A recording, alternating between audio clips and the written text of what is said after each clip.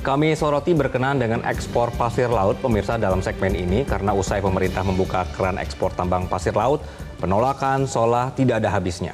Kerusakan lingkungan hingga pulau yang tenggelam sudah nyata terjadi pemirsa menjadi bukti kerugian yang hingga kini harus dipikul oleh warga pesisir hingga nelayan. Salah satunya Pulau Ubi di Kepulauan Seribu yang tenggelam puluhan tahun silam. Tenggelamnya Pulau Ubi disebut-sebut karena tambang pasir laut. Lalu seperti apa kisahnya berikut liputan jurnalis Metro TV Reida Pulpi dalam segmen Telusur Kasus.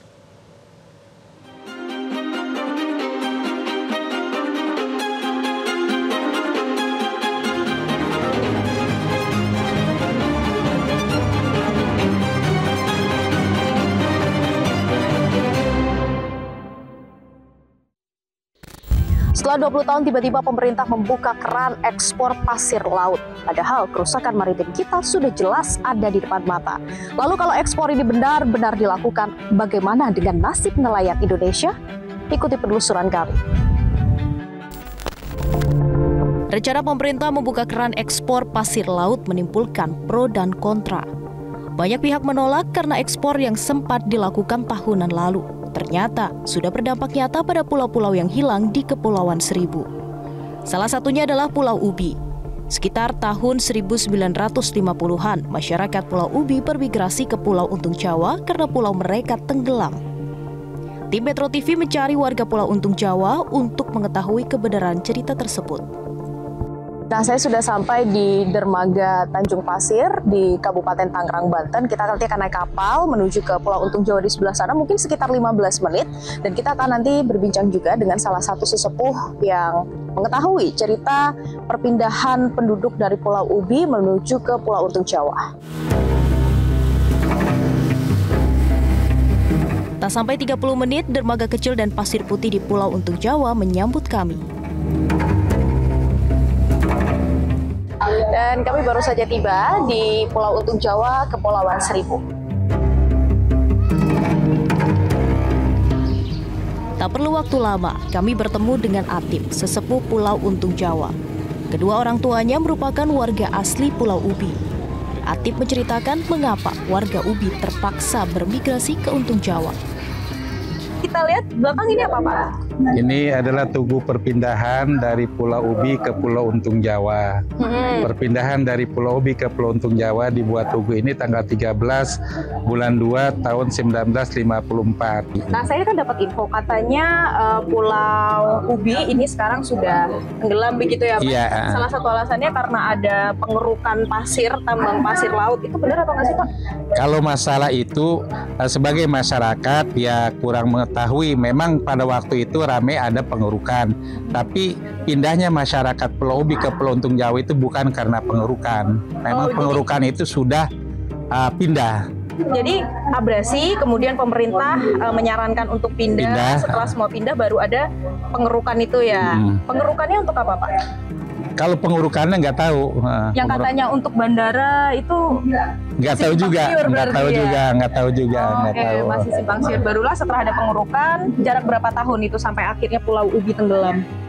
Uh, kita lima tahun ya, lima tahunan ada ya. Oh, nah, lebih ya lima oh, tahun lebih, lebih. Lebih dari lima tahun. Nah, oh, tadi masih ada gudusnya tadi masih ada. Oh, sekarang sudah tidak ada. Sudah tidak ada gudusnya. Hmm, itu yang meminta untuk pindah dari pemerintah. Ah, dari lurah, lurah. Kalau dulu zaman dulu back, dulu oh, back. Oh, sebutannya back kalau back. sekarang lurah. Sekarang udah lurah. Terus kemudian akhirnya semuanya pindah ke pindah Pulau, ke Pulau Untung Jawa. Oh, yang itu masih kosong ya, Pak masih ya? Masih kosong. Ah. Oke, nah itu perpindahannya karena abrasi. Perpindahannya karena abrasi. Apakah saran dari pemerintah saat itu agar masyarakat Pulau Ubi pindah ke pulau lain adalah agar pasir Pulau Ubi bisa ditambang? Atip pun tak tahu jawabannya. Yang jelas, warga Pulau Untung Jawa belajar dari kesalahan yang lalu. Kini mereka getol menanam mangrove untuk menjaga tempat tinggalnya. Sementara Presiden Joko Widodo menekankan bahwa pasir laut yang boleh diekspor adalah sedimentasi. Yang diperbolehkan itu adalah sedimen pasir yang berada di jalur laut untuk kapal-kapal. Hati-hati, tolong dilihat kalau memang bukan itu, itu yang nggak benar. Karena kita butuh, semuanya akan kita hilirisasikan. pasir silika, dan lain-lainnya.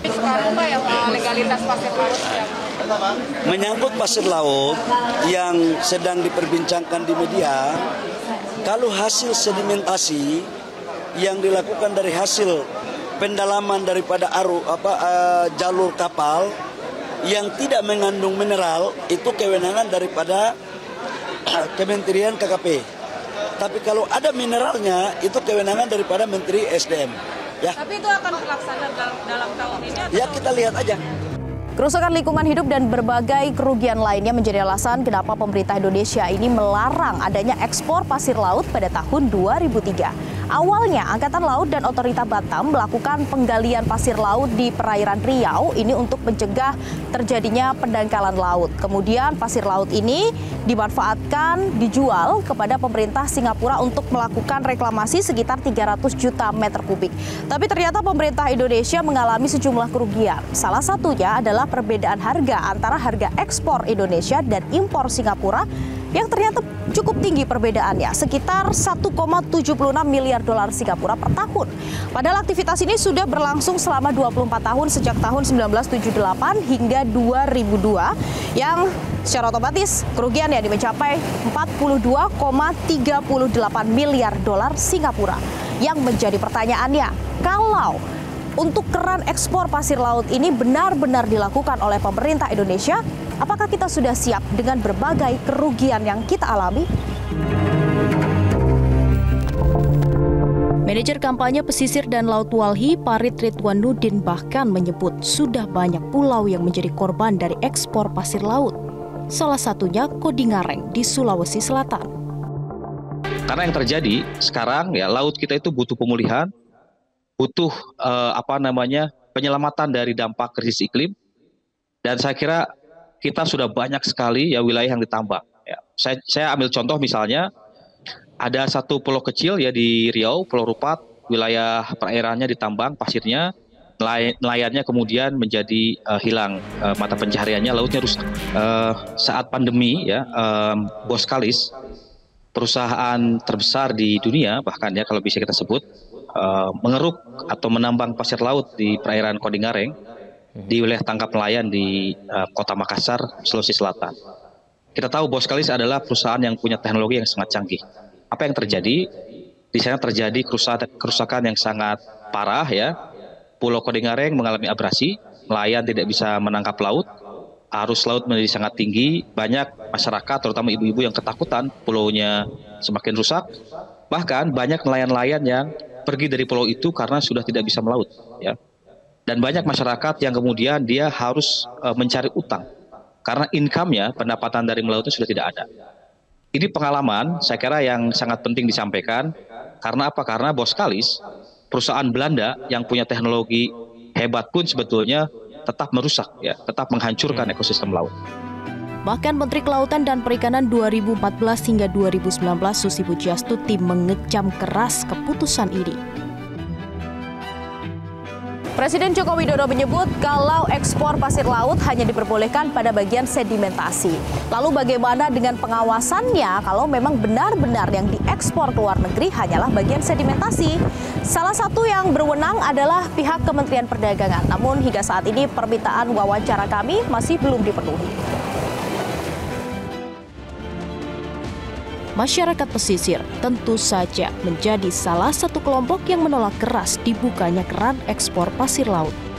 Enggak lah, nggak setuju. Nanti pulau kita terkikis habis kalau diambilin pasir lautnya. Itu, ntar ibu tinggal di mana? Kalau saya sih sebenarnya nggak setuju, nggak setuju. Dan juga pasir yang diekspor nggak ada. Kenapa Pak nggak ada? Ya, habis pulaunya cuma segini. Hmm. Pasirnya yang ada cuma pantai di pantai di pantai itu aja. Nggak bakal nyukupin. Tidak. Kenapa? Karena emang pulau itu makin lama makin terkikis.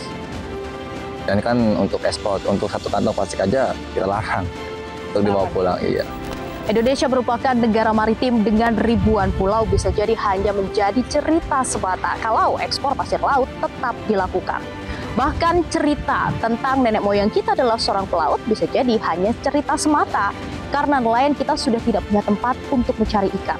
Lalu menurut Anda pemirsa, apa yang harus kita lakukan? Dari Jakarta, Tim Liputan, Metro TV. Jelajahi cara baru mendapatkan informasi. Download Metro TV Extend sekarang.